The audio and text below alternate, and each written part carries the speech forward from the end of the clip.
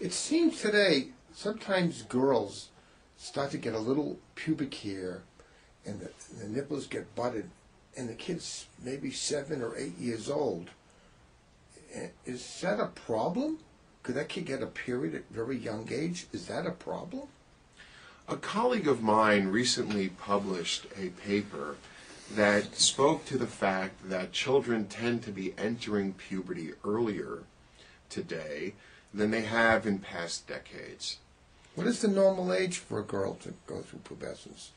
What we have defined as normal, and of course it's important to understand that definitions like this are arbitrary. We must pick a certain age below which we would consider development to be early. However, that is not synonymous with disease.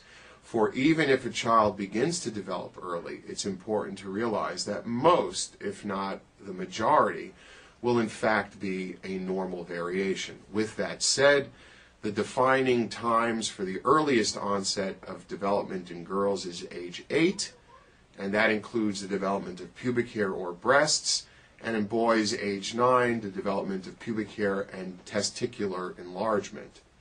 On the other end, or on the late side, we would consider the absence of any development at the age of 12 or 13 in a girl and 13 or 14 in a boy to be considered abnormal.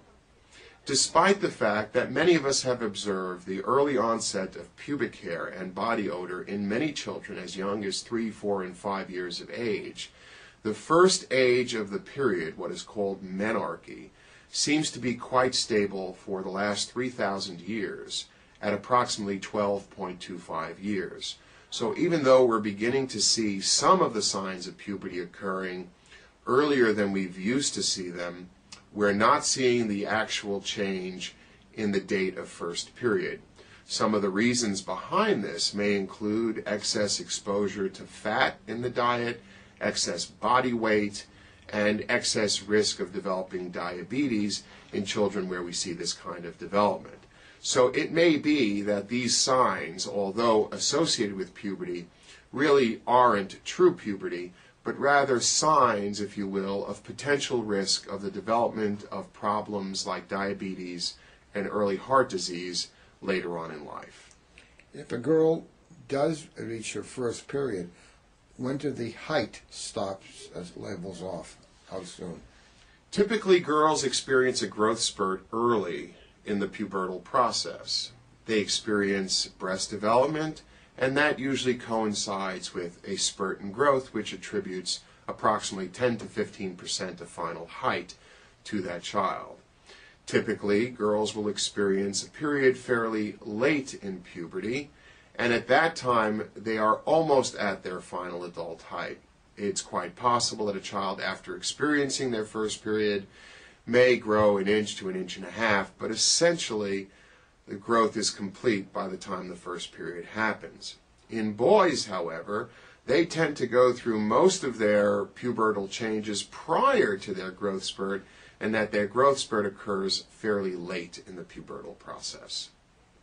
A very common question to pediatricians they get a brand new little baby girl and they see blood coming from the girl's vagina. Does that mean the girl is going to have a period? This um, phenomenon of a little bit of bleeding from a newborn's vagina is quite common and really has to do with a withdrawal of estrogen or female hormone that the baby is exposed to while in the mother's uterus. That uterus is a rich environment filled with circulating hormones.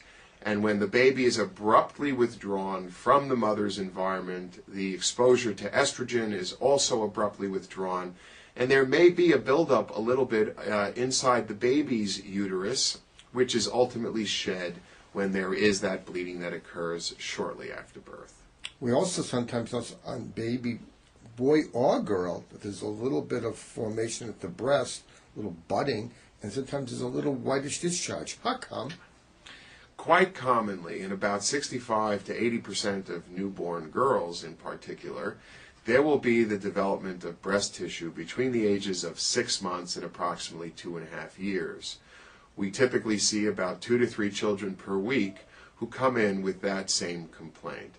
It's important that families are reassured that in the absence of any real changes in the body or in the nipple consistent with true estrogen action on the body as we would see in early puberty, this represents a little mini puberty that normally girls go through that, if you will, primes and tests the system out for later on in years when the child will in fact go through true puberty. We observe these children. We rarely get laboratory testing. We'll see a child back in three to four months. And if there's no significant change, typically this tissue will regress, if not completely, mostly, and parents will be reassured of the same.